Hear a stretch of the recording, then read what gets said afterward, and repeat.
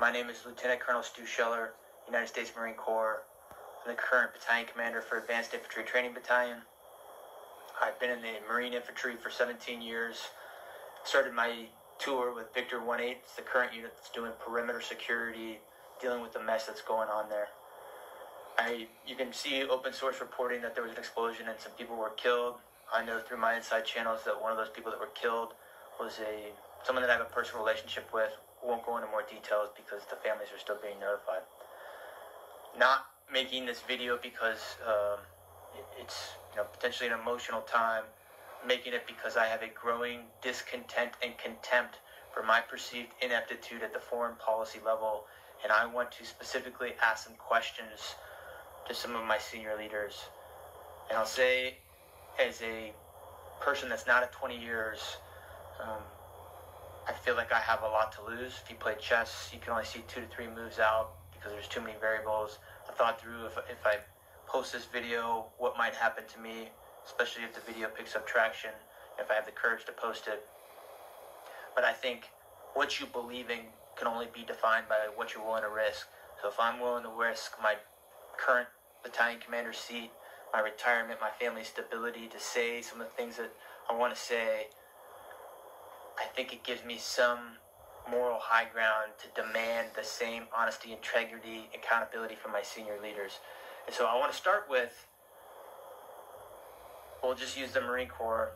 My, we'll just stick with the Marine Corps. So in the current fallout of Afghanistan, a lot of Marines were posting on social media and in response to that, the Commandant published a letter, which is the service chief of the Marine Corps. And I'm going to read from it. It was dated 18 August, so only a week ago. And Commandant Sir, you wrote, Some of you may be struggling with a simple question Was it all worth it? We want you to know that your service was meaningful, powerful, and important. You fought for the Marine to your left and the Marine to your right. You never let them down. Then you go on to say that, you know, if we're, we're struggling, we should we should seek counseling. Which, you know, I get it. People have killed people. Um, I've killed people and I, and I seek counseling, um, and that's fine. There's a time and place for that. But the reason people are so upset on social media right now is not because the Marine on the battlefield let someone down. That service member has always rose to the occasion and done extraordinary things. People are upset because their senior leaders let them down, and none of them are raising their hands and accepting accountability or saying, we messed this up. Amen. If an 05 battalion commander has uh, the simplest live fire incident EO complaint, boom, fired. But we have a Secretary of Defense that testified to Congress in May that the Afghan National Security Force could withstand the Taliban advance. We have chairmen of Joint Chief, who the Commandant is a member of that, who's supposed to advise on military policy. We have a Marine wow. combatant commander. All of these people are supposed to advise, and I'm not saying we've got to be in the in Afghanistan forever, but I am saying did any of you throw your rank on the table and say, hey, it's a bad idea to evacuate Bagram Airfield, the strategic air base, before we evacuate everyone? Did anyone do that? And when you didn't think to do that, did anyone raise their hand and say, we completely messed this up? I've got battalion commander friends right now that are posting similar things, and they're saying, you know, wondering if it, all the lives were lost and, and if it was in vain, all those all those people that we've lost over the last know, 20 years. And he goes on to say that we're all part of a chain. While every link may not be tested, the strength of the chain is only as strong as each link, and you got to be, you know, good link, something like that. And what I'll say is, and from my position, potentially all those people did die in vain if we don't have senior leaders that own up and, and raise their hand and say, we did not do this well in the end. Without that, we just keep repeating the same mistakes. This amalgamation of the economic slash corporate slash political slash higher military ranks are not holding up their end of the bargain.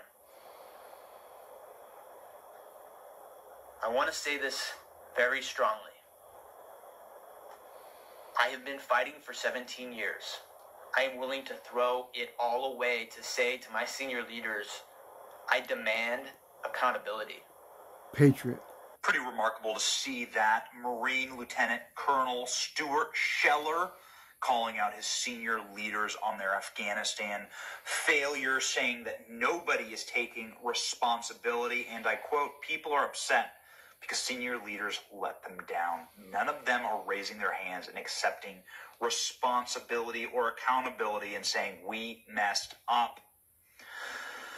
Potentially, all those people that did die in vain, if we don't have senior leaders that own up and raise their hands and say, We did not do this well in the end. That's right.